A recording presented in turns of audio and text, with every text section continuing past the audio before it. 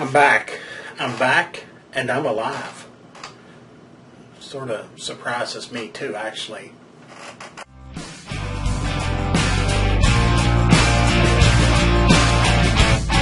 You make me feel so good.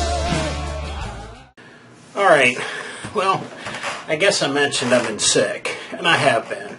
Okay, it's infected kidney stones. Found that out a couple weeks ago, a week and a half ago.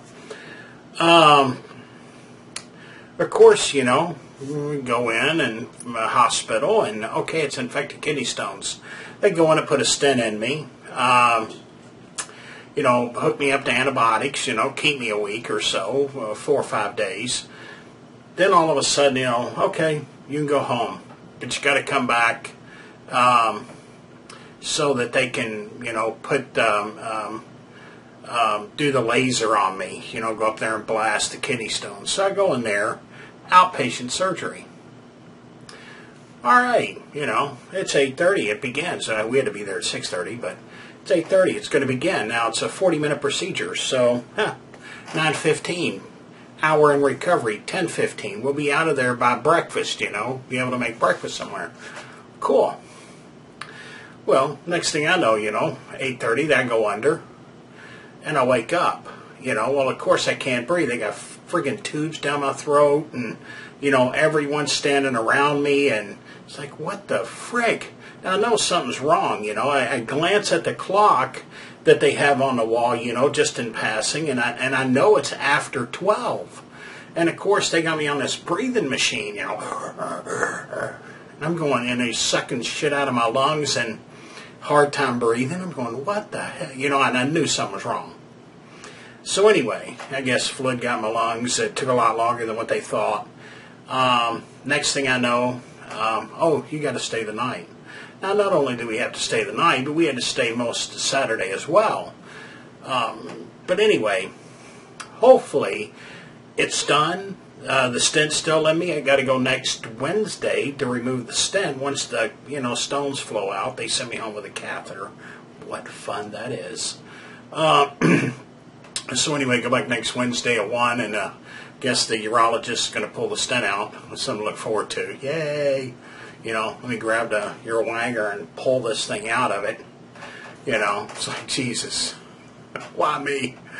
But but it'll be over. So anyway, I'm alive again. I'm up and moving. I'm hurting a little bit. Still passing some of the stones, but hey, everything's good.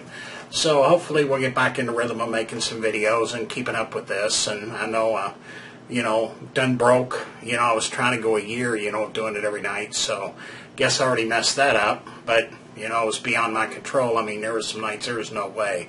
So anyway, we're back. See y'all tomorrow. Now, I got a cream cannery for Father's Day, so I made some dinner and I'm going to show y'all. Not that you care, but hey, I figured, hey, I'm going to show them anyway. So anyway, see y'all tomorrow. All right, here's my cream can supper company can, my cream can. It's a two and a half gallon. Um, we're cooking a roast in it with carrots and potatoes and squash and corn and um, a little bit of everything, bell pepper and so anyway, it's cooking. So we got about another 30 minutes. It's a steam cook, um, and then we'll see how it tastes. So anyway, there it is, cooking away. Now here it is. It's the genuine Ogalla Cream Can Supper Company. All right, here's the stuff out of the cream. Looks pretty good. So we're gonna see how it tastes now. Hey guys, the whole family loved it. Two thumbs up. I mean, everyone raved about it. So it was a great meal. Very great meal.